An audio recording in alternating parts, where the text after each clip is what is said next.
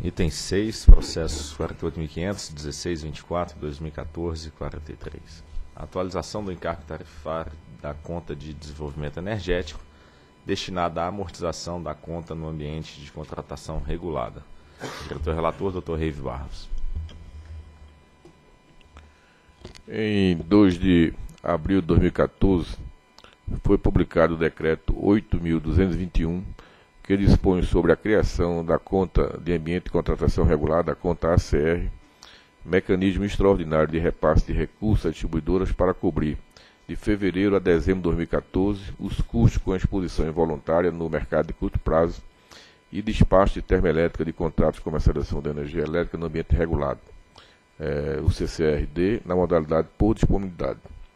Para a formação de laço da conta CR, foi atribuída uma nova competência à Câmara de Comercialização de Energia Elétrica para a contratação de operações de créditos com bancos financiadores a serem amortizadas a partir de 2015, mediante o recolhimento de encargo tarifário da Conta de Desenvolvimento Energético CDE, a ser incluído nas tarifas de energia elétrica aplicáveis ao mercado consumidor cativo das concessionárias de distribuição do Sistema Interligado Nacional. Conforme previsto na Resolução Normativa de número 612, é competência regulatória da ANEL em relação à matéria anuir aos contratos de créditos firmados pela CCE, homologar os valores mensais de repasse de recursos da conta CR distribuidora e definir o encargo tarifário de CDE destinado à sua amortização a ser cobrada a partir de 2015. Conforme a regulamentação, o valor desses encargos para amortização da conta CR deve considerar os custos financeiros e administrativos das operações de crédito contratadas, incluindo o principal, os juros, demais acessórios e despesas operacionais, observados os prazos e condições contratadas e a constituição de uma reserva equivalente a 10% do custo total. A eventual insuficiência de recursos para a quitação das operações de crédito contraídas pela CCE será recolhida mediante a definição de encargo complementar homologado pela ANEL sem vinculação com a data dos processos tarifários das distribuidoras. Para 2015, a adoção de medidas estruturais como a alteração do valor máximo do preço de liquidação da diferença e a aplicação do sistema de bandeiras tarifárias, de que trata o submódulo 6.8 do PRORET, passaram a acomodar grande parte das variações de custos das distribuidoras impactadas pelas condições desfavoráveis de geração e pela contratação de energia do Sistema Interligado Nacional. Não obstante, resta a obrigação de amortização das operações de crédito contratada pela CCR na gestão da conta ACR, motivo pelo qual, em março de 2015, a resolução homologatória número 1863 fixou os valores e prazos de recolhimento das cotas mensais da CDE Energia na conta CR devida pelas concessionárias de distribuição. Em novembro de 2015, considerando a necessidade de atualização da taxa de juros das operações de créditos contratada pela CCE e a manutenção da segurança da operação, no caso aí a reserva de liquidez mínima de 10%, o processo foi distribuído mediante sorteio antecipado pela SGT. Em 7 de dezembro de 2015, a SGT emitiu a nota técnica 323, apresentando o resultado da atualização das cotas mensais da CDE, destinadas à amortização da conta CR com vigência a partir dos processos tarifários ordinários de 2016. É o relatório. Procuradoria. Bom, o decreto 8221, ele alterou o decreto 7891 para permitir que a CDE arque com os custos decorrentes das contratações de operação de crédito com recursos da conta CR. É, o artigo 4C desse decreto, no parágrafo 7 diz que a ANEL homologará o montante de recursos de que, de que trata esse, esse dispositivo. Então, a matéria foi regulamentada pela Resolução Normativa 612. O cálculo envolve juízes eminentemente técnico. Do ponto de vista estritamente jurídico, a, a, a Procuradoria entende que a resolução homologatória está em condições de ser apreciada pela diretoria. A Resolução 612 estabelece Primeiro, para a definição do encargo tarifário da CDE na conta CR, a ANEL deve considerar a projeção das taxas de juros contratadas e um adicional relativo à constituição de uma reserva de liquidez equivalente a 10% do custo global da operação. Deve também considerar o encargo do rateio CDA da conta CR não está vinculado ao estabelecimento de recursos para distribuidoras, mas ao tamanho dos seus mercados cativos no período de fevereiro a dezembro de 2014. Também o reconhecimento tarifário coincide com a obrigação de recolhimento das cotas, o que reduz o risco de inadimplência. e a obrigação de recolhimento do encargo setorial é independente do mercado faturado pela distribuidora, estando assegurada a neutralidade nos termos da subcláusula 18 da cláusula 7 dos contratos de concessão. Também a inadimplência no recolhimento do encargo tarifário da CDE da conta CR implica em aplicação de multa e juros de mora equivalente às condições pactuadas nas operações de crédito da conta CR e do ressarcimento de custos e honorários fixados em juízo no caso de proposição de ação judicial pelos credores da dívida. Também a eventual insuficiência de recursos para a liquidação das operações de crédito da conta CR será recolhida mediante a definição de encargo complementar homologado por meio do despacho extraordinário da ANEL, não vinculado à data de realização dos processos tarifários da distribuidora. O encargo complementar deverá ser homologado até 30 dias úteis após a identificação da insuficiência de recursos. O saldo disponível na conta CR deverá ser aplicado em investimento financeiro de baixo risco. E, finalmente, o saldo remanescente da conta CR, após a quitação integral das operações de crédito, será devolvido à distribuidora com o mesmo critério de alocação de encargo tarifário da CDE Energia conta CR.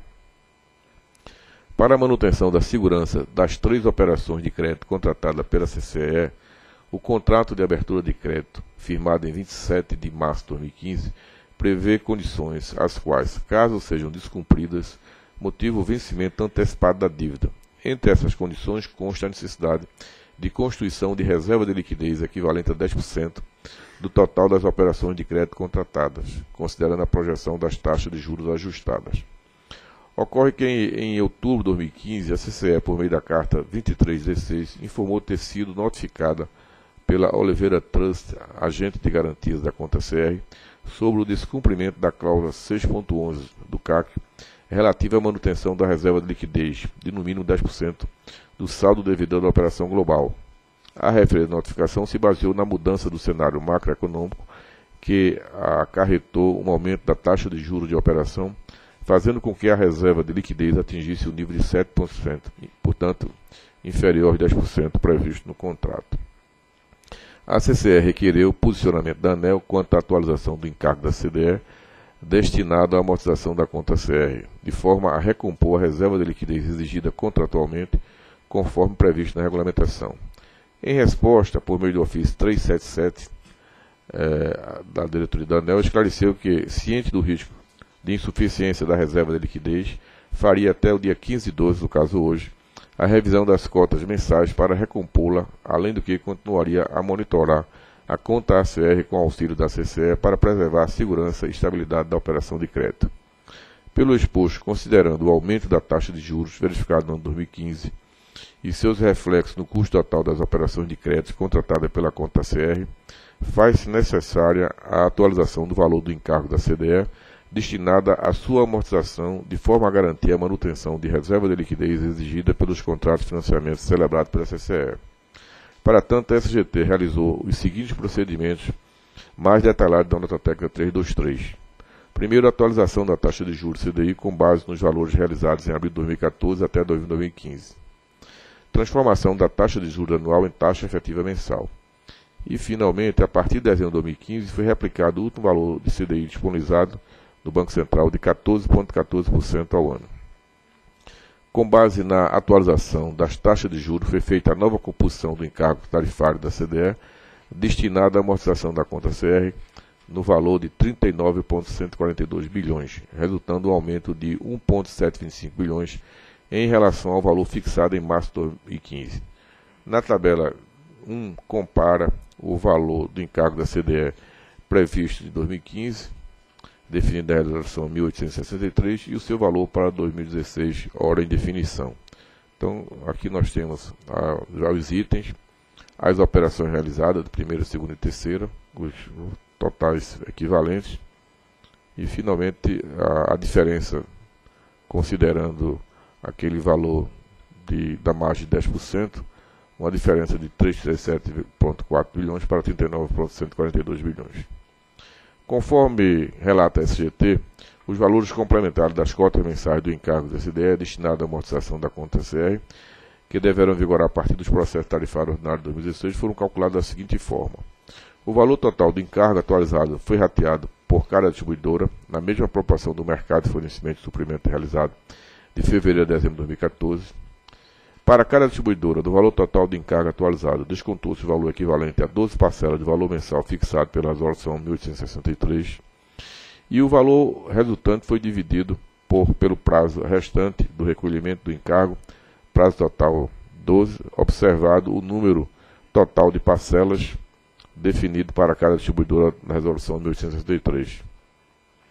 A tabela 9 da resolução 326-2015 da SGT apresenta o detalhe do cálculo e os valores das cotas mensais da CDE, da conta CR, vigentes e atualizadas, bem como os prazos de recolhimento para cada concessionária. Com a atualização das cotas CDE na conta CR, as condições de segurança da operação estabelecidas no contrato de abertura de crédito celebrado pela CCE são recompostas ao longo do ano 2016, à medida que a distribuidora passar pelos seus processos tarifários ordinários. A previsão da CGT é que o saldo mínimo de reserva de liquidez seja recomposto em até julho de 2016. A superintendência estimou um impacto tarifário médio de 0,32%, em função da atualização do encargo da CDE na conta CR. Apenas para as concessionárias com reajuste em fevereiro o impacto será maior. Isso porque, para essas, a cobertura tarifária concedida no último reajuste ordinário considerou um valor provisório do encargo que ainda não havia sido homologado pela ANEL pois a liquidação da CCE teria sido postergada até a conclusão da terceira operação de crédito, que aumentou o prazo de amortização dos empréstimos.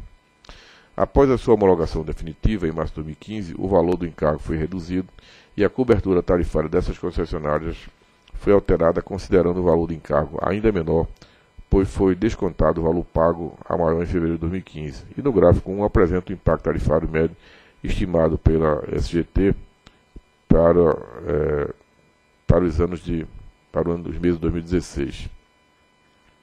Então, no gráfico 1, impacto médio tarifário, eh, esses valores são considerados em percentuais de fevereiro de 2016 a dezembro de 2016. O gráfico 2 apresenta os, os novos fluxos mensais de arrecadação de encargo da CDE e da amortização da conta CR, bem como as curvas de formação de reserva de liquidez. Então, na linha azul, nós temos a arrecadação da CDA acumulada, a vermelha, a amortização. Então perceba que nós estamos considerando uma margem de segurança equivalente ao valor estabelecido no contrato da ordem de 10%. A ETCT observou que o fluxo de arrecadação do encargo se mantém acima da curva de amortização dos empréstimos em função da necessidade de formação de reserva de liquidez e que a estimativa de saldo em conta atinge o limite de reserva de liquidez a partir de abril de 2016 mantendo-se em uma curva ascendente até o final da operação. Diante do exposto que consta no processo 48.500.00.1624-2014-43, voto por emitir, é, emitir a resolução homologatória conforme minuta anexa, com o objetivo de fixar as cotas mensais atualizadas do encargo tarifário da Conta de Desenvolvimento Energético, a CDE, destinada à amortização das operações de crédito contratadas pela Câmara de Comercialização de Energia Elétrica na gestão da conta de ambiente e contratação regulada, devido pelas concessionárias de distribuição de energia elétrica a partir do respectivo processo tarifário de 2016 é o voto. Em discussão. Aqui, importante só resumindo, que está bem explicado no voto do relator, é porque realmente quando foi feita a captação do recurso lá da conta CE junto a instituições financeiras, condição contratual é de manter a tal reserva de liquidez no patamar de 10%. Dado o aumento do custo do dinheiro aí, do aumento da CDI no ano de 2015, o, valor do encargo que tinha sido estimado, ele foi ultrapassado naquela ordem de 1 bilhão e 700. Então, por ser uma exigência contratual, nós estamos recompondo a reserva de liquidez no patamar dos 10% é que isso, como já foi explicado, esses 10% de reserva de liquidez, ao final do período de amortização, ele será devolvido ao consumidor, né, via lá uma redução na mesma proporção do que foi arrecadado da conta CR. Então, esse 10%, como é, tem sentido, a reserva de liquidez é apenas para manter a liquidez da, da amortização do financiamento junto às instituições financeiras, foi uma exigência contratual. Isso tem um impacto tarifário que será percebido nos respectivos processos tarifários de 2016, da ordem de 0,3% apenas. Exceto as de fevereiro, como o gráfico mostra, porque, como é, é, explicado também no relatório, em fevereiro nós tínhamos, repercutimos na tarifa um valor antes daquela repactuação que houve na sequência do contrato ACR, lá da conta ACR, dos contratos com instituições financeiras. Então, é, foi repassado um valor menor, então haveria mesmo em fevereiro já uma, um pequeno ajuste nessas empresas que têm o aniversário em fevereiro. Não é por conta só dessa questão da garantia, não. É um impacto de pouco mais de 0,9%, que está aqui colocado no gráfico, é em função dessa questão da conta de liquidez e mais o ajuste que já seria feito novamente. Então, a conta de ajustes leva ao impacto de algo de 0,3% que será repercutido nos processos tarifários. E, de novo, isso é, é em função da obrigação contratual de manter a conta de reserva de liquidez no patamar de 10%, e ela foi reduzida para algo em torno de 7% em função do aumento do, da remuneração, em função aí da, da condição macroeconômica, como explicado. Então, acho que isso é a razão dessa deliberação para cumprir essa condição contratual que foi corretamente exigida pelas instituições financeiras que compõem lá o pool de bancos. Né? Okay. Em votação. Eu voto com o relator. Também voto com o relator. Eu também voto com o relator. Proclamo então que a diretoria decidiu por fixar as cotas mensais atualizadas do encargo tarifário da conta de desenvolvimento energético, CDE, destinada à amortização das operações de crédito contratadas pela CCER na gestão da conta de, do ambiente de contratação regulado, conta CR, devido pelas concessionárias de distribuição de energia elétrica a partir do respectivo processo tarifário ordinário de 2016. Próximo item.